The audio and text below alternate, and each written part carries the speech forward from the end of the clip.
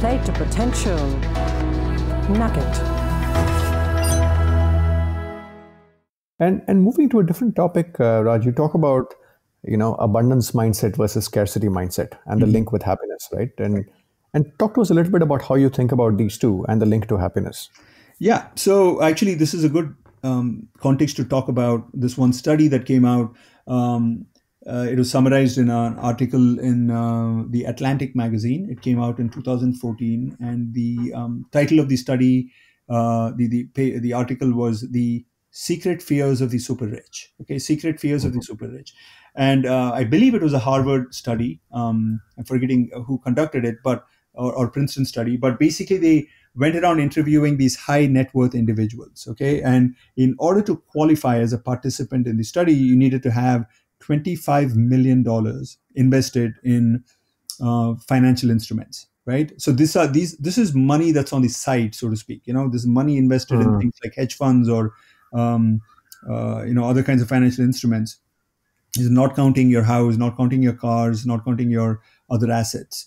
Um, and they interviewed them to ask them what are some of your big fears okay?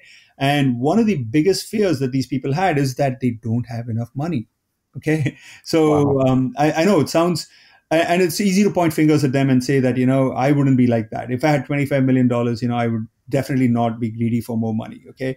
But we all know that almost at every stage um, in our life uh, we do end up feeling uh, that you know hey you know what? More money might be actually good for me okay?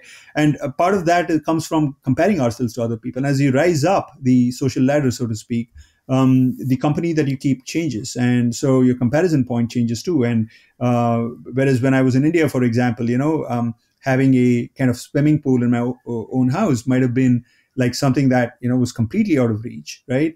To where i'm living now i actually don't have a pool in my house but i do have a hot tub okay? Uh, but it doesn't seem like that's out of reach at all okay?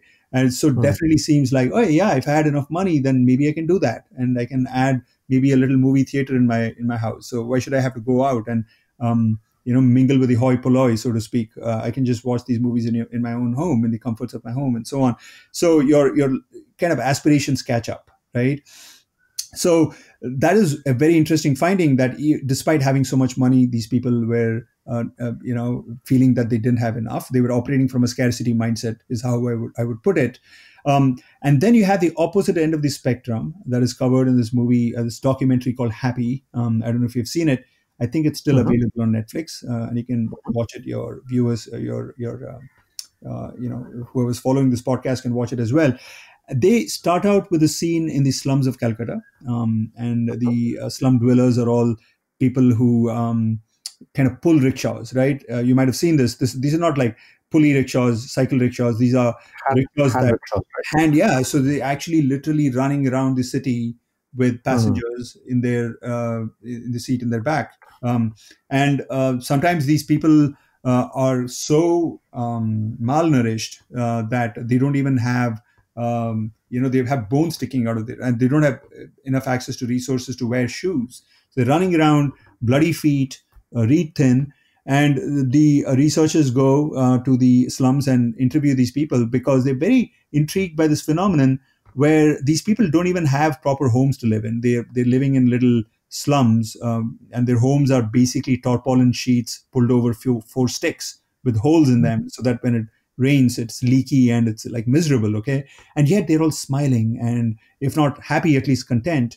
And um, so the um, researchers are kind of flummoxed by this um, sight. And so they go and ask them how, how can you afford to be content and happy? And uh, i'm paraphrasing what they say but they basically say something along the lines of you know what? We're taken care of okay? We're taken care of and they believe in god or they believe in some kind of a spirit. Um, and they say that whenever we need anything really desperately, we end up getting it. Okay, maybe not in the way that we conceive of it, uh, maybe not immediately, but we end up getting it, and we have a good sense of community. Uh, everybody in the uh, slums take care of uh, takes care of each other. On the days I don't make a good tip, somebody else might make a good uh, tip, and so they feed us, and likewise we return the favor. And so uh, what to complain about kind of a thing okay um, hmm. so in other words their life circumstances are characterized by scarcity right? Not just plain vanilla scarcity, but abject scarcity. And yet they have, if not a mindset of abundance, at least a mindset of contentment. Okay. So no prizes for guessing which of these two groups of people is happier. Okay, in, in the sense of who needs um, to take antidepressants just to stay afloat, right? Who needs to pop sleeping pills um, to to fall asleep every night? It's the high net worth individuals. Okay, very very interesting finding, right? So. Um, what I talk about um, as an abundance mindset is basically this idea that um, in your head you feel that um, you have more than enough, and um, it, it you know you would think it must be correlated with how much access to resources you actually have objectively speaking. But in these examples that i just gave you it appears not to be okay? Um, and certainly for people like you and me um, and for people who are listening to this i would imagine that most of them have enough access to enough resources that uh, right now it's it's a question of whether you you can you can kind of convince yourself that you have enough right? And you can adopt that mindset of abundance. And if you do you actually end up discovering. And you know i have to tell you deepak you know i, I wasn't somebody who was born with an abundance mindset or you know certainly wasn't nurtured in me. And i had to kind of logically figure this out at some level you know. And and so uh, at one point though i just decided you know what? I'm going to i'm going to I, i'm going to conclude that i have enough. And i'm going to operate in a fashion that perhaps is not like as abundance oriented as say jesus might have been or some other you know guru like that might have been or, or even um, people like um, Vinoba Bhave, right, uh, might have been. But I'm going to, in my own way, kind of progress towards a greater and greater abundance. And that is one of the tasks that I've embarked on.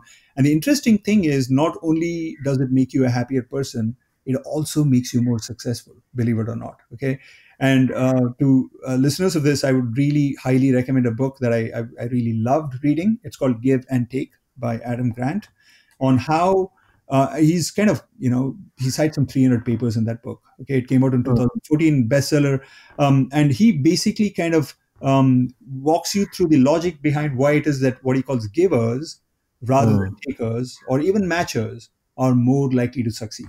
Okay? And in a nutshell it has to do with what other people think of you. You know who would you like to support? Would you like to support a person who's a taker or a giver right? So controlling for your quality of work, controlling for how accountable you are, your intelligence, your education, and all that, you're much better off being a giver rather than a taker. That is somebody with an abundance mindset rather than a scarcity mindset. Maybe I, I love that. One. Yeah, maybe I talked more in answering this question than you wanted me to, but hopefully that was. No, no, I, uh, I love Adam Grant's work as well, and the distinction he makes between smart giving and uh, unsmart giving, right? And I, I, I, found that nuance extremely profound to say. Yeah and he also says giving is a high beta choice, right? You if you don't give smartly, you might end up at the bottom of the pile and as a doormat. But yeah. if you're smart, then uh, you could be giving and successful rather than right. a trade-off. So he, he refers to them as otherish givers versus selfless givers. Yeah, correct. Right. Yeah, uh, lovely. Uh, back to just picking up on the piece you mentioned, uh, Raj. Mm-hmm. How do we, uh, you know, how do we rewire our mindset, right? Uh, and, and the mm-hmm. reason I mention it is when I think about India, a country like India, uh, mm-hmm. where you need there is a certain level of at least the some of the choices we've made and the path we've taken. It's required us to be competitive, mm-hmm. and uh, you know a certain uh, edginess often is required by the system for you to get to a certain point. Mm-hmm. And then we suddenly flip the switch to say, you know what, uh, mm-hmm. you need to uh, you need to change uh, from this. And and and maybe going back that edginess requires a certain at least uh, uh, a mindset of uh, scarcity saying if you don't make it here then mm-hmm. this is your you know you're missing out on a, a different orbit. Mm-hmm. and suddenly you get to a point and then uh, you need to you need to behave differently uh, with an abundance mindset. Do you see a tension there or a paradox there in terms of how we need to flip the switch at some point? And that's hard not really, Deepak. Uh, I don't think you need scarcity at all, you know, in my opinion. Uh, I think what you do need is hard work. You need smart work. Uh, you need to identify something that you're intrinsically motivated by. And uh, the scarcity mindset we mistakenly believe is needed for us to uh, put in that hard work. And if I did not have that scarcity mindset, if I did not uh, have this um, feverish desire desire to um, overcome my circumstances and get out of you know the hellhole I'm in, um, I'm not going to succeed. Okay, uh, and mm-hmm. I don't think that that uh, negativity, that insecurity, stress, anxiety, etc., is needed at all. Um. I think if you love what you do, uh, you can very easily motivate yourself through that love. rather than through that feeling of scarcity. I do think that there are certain contexts in which scarcity mindset is very useful. Um, if you're in a war zone, if you are, you know, uh, in a, say even in a slum like the slum that I talked about, uh, perhaps, okay. But uh, if you're in a middle class family and what you're end up, what you're going to end up doing is not fighting like in a war, physical fighting, but you're going to do intellectual work, creative work. Uh, I don't think the scarcity mindset is needed at all. And I don't know if you know this about Adam Grant, right? Uh, one of his kind of stories is um, that he um, was a diver, right? And he was pretty good. Um, and he got to the level where he was competing at the national level. And uh-huh. in one of the national competitions, uh, the, the final one uh, for the gold medal and stuff like that, he noticed his competitor um, doing some mistake. Okay. And he was wondering whether to go tell him that, you know, if you just correct for this, you're going to actually be much better. And um, he thought, okay, if I do that, maybe you know I'm going to help him and I'm going to sacrifice my own gold medal, but um, it's fine. You know, I'll go tell him. And I did that, and indeed, that's exactly what happened. The other guy got the gold, and Adam himself got the silver medal. The next mm-hmm. year comes around, and exactly the same thing happens with another guy. Okay, but he goes ahead and again bites the bullet and tells the other guy that if you just do this, you're going to be a much better diver and the other guy ends up winning the gold again okay mm-hmm. uh, so adam decides that well you know two times it's hurt me uh, being a giver um, so I, I want to kind of focus on on this topic and research it so he ended up uh, not not going down the diving route but uh, ended up becoming a professor after pursuing a phd and what he found is that givers in the long run um, end up succeeding okay in the short run sure, you know, you help other people out, you prop them up, you know, they climb over your shoulders and, and go ahead, right? Especially if they're takers, they're not going to help you back up. Okay.